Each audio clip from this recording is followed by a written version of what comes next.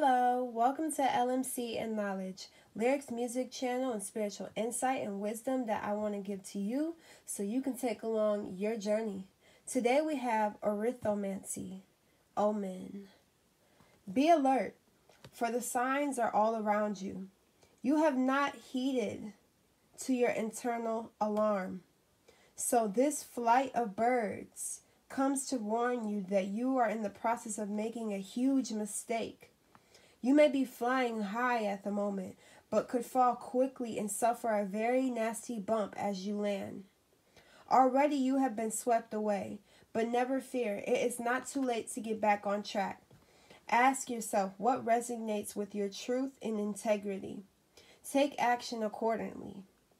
Soar freely above the commitments you have made. Liberate your mind and heart to allow your soul to take off. All that glitters is not gold, but I believed what I've been told. This omen bids me to retreat as protection, not defeat.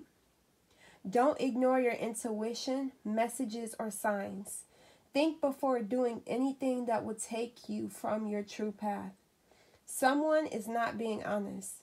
This is not a time for new ventures. Do not move forward at this time. So I have some letters that may resonate with you. It could be your first name, last name, your somebody you know, somebody you're dealing with, um, anything that comes to mind. It could be the first letter of any word. It doesn't even have to be initials. Uh, so we have, I got this little charm, this little guy in the spacesuit, you know. One thing I noticed from him and one thing I noticed from the card is saying that you're flying too high. You went too high up. Um, and the the choices or decisions that you made and um you took off you know? And that's what they do you know? They hmm, they take off and they're in space and they're so far away from earth so you need to get back to the ground. Get grounded with your decisions get grounded with your life and your choices.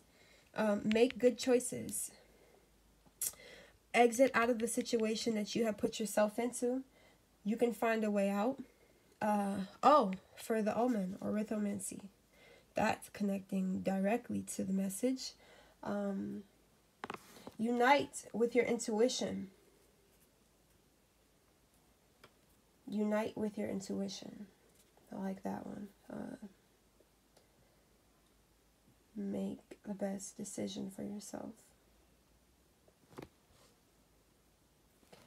Exit leave the situation that you are in right now.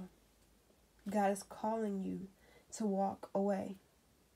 Somebody has probably misguided you.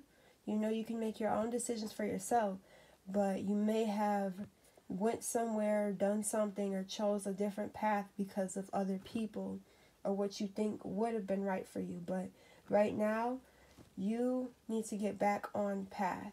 Get back on your destiny because it's very important. This year is all with alignments, you know.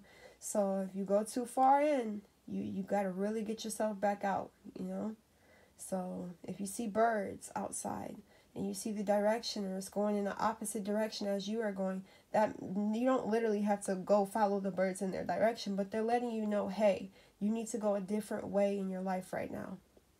So even if your friends or your family, they're not liking it, something is not right in the situation that you're in. So you need to pray. If you're confused right now, pray to God. Dear Lord, give me direction. God, send me direction. Align my soul to my true path. You can say what I just said. Dear Lord, align my soul to my true path. I am aligned to my destined path. So I hope this connects with you. It's not to scare you. You shouldn't be scared. Understand that God knows where you're at right now. And you have detoured yourself, so now He has to put you back on track, okay? So I love you, and I hope you have a great day. And yep, peace.